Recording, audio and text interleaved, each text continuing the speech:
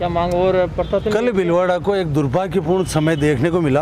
एक साथ कोरोना का इतना बड़ा विस्फोट हुआ, जिसमें सराफा बाज़ार से भी संक्रमित व्यक्ति निकले हैं। चाहे वो चाय वाला हो, चाहे शराब का या सोने चांदी का काम करने वाला व्यापारी हो। सभी व्यापारियों में ये भय है, जो कल विस्फोट से दहशत में है, इन लोगों ने स्वयं एडीएम सिटी साहब को लिखित में दिया है कि आप यहाँ बैरिकेड करके इसे बंद कर दो। हमारे बाल बच्चे, हमारी घर गृहस्थी है। सब लोग जिला कांग्रेस आए थे। हमने सीएमओ में भी ये मैसेज करवा दिया है। कि भिलवाड़ा में एक दिन में इतना बड़ा विस्फोट होता है तो सख्त कदम उठाना आवश्यक है।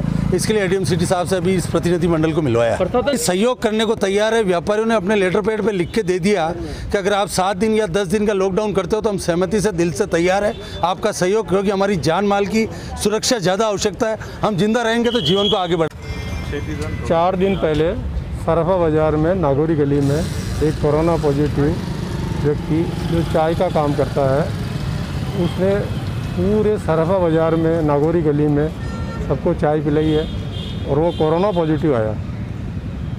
उसके साथ ही ये खतरा हो गया कि कितने जने कोरोना और आ सकते हैं, कितनों को उसने चाय पिलाई है, कितनों के टच में वो आया है। एक व्यक्ति टच आने के बाद भी मतलब चार दिन से दूसरे दिन भी उसका भाई और चाय पिलाता रहा। प्रशासन ने कोई उसकी सुदबुद नहीं ली और आज की तारीख में नागौरी गली में सात पॉजिटिव केस आ चुके हैं। उसी के पड़ोसी, चाय वाले के पड़ोसी, सात पॉजिटिव आ चुके हैं। हमने प्रशासन से आज कलेक्ट्री में आए हैं, एसडीएम साहब से मिले हैं, उनसे निवेदन किया है कि हमारा सराफा बाज़ार, माना टाकी से सही चौक तक, हम अपनी स्वेच्छा से बंद करवाना चाहते हैं। इसमें प्रशासन हमारा सहयोग करे, क्योंकि ये खतरा आगे बढ़े नहीं।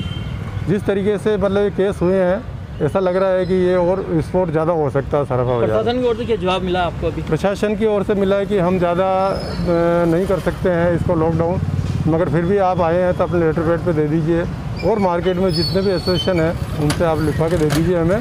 तो हम अभी तहसीलदार साहब को मैं भेजता हूँ और वो आगे की